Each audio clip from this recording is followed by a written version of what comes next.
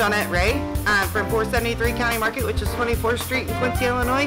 I'm the Deli Bakery Supervisor.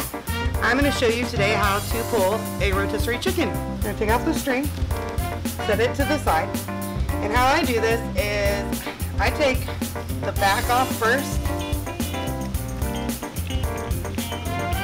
which leaves you the breast and wings. Then I pull the wings off, and then I slide the skin right off of it. So then it's going to look like a heart, and you'll have your little bones in the back. So then you're just going to pull it apart.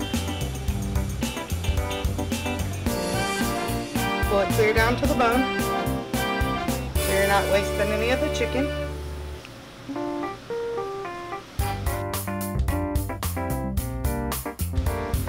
So now it's just going to leave you nothing but pretty much a bone. You can pull the little pieces of chicken off of there. And then we set this to the side.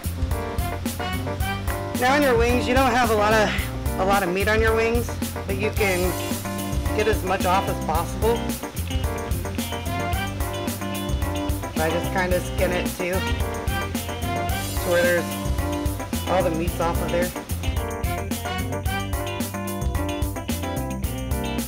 Alright, then I set that to the side too. And now we're going to go for the thigh. So you just flip this piece over and it just pulls right off, your thigh does. And I take all these little bones off there.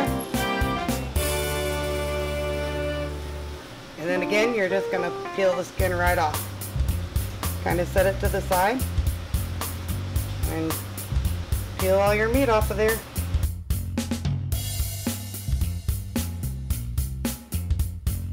Then you set that to the side too. And then you go to your next piece. So you can just pull a leg off.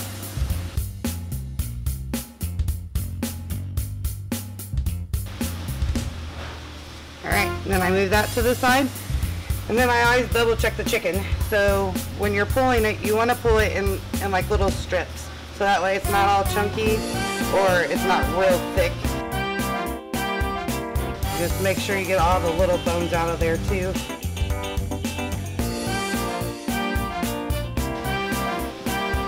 On this breast piece, like usually toward the top of the breast, there's little bone, there's a little bone in there, so I really, really check that over.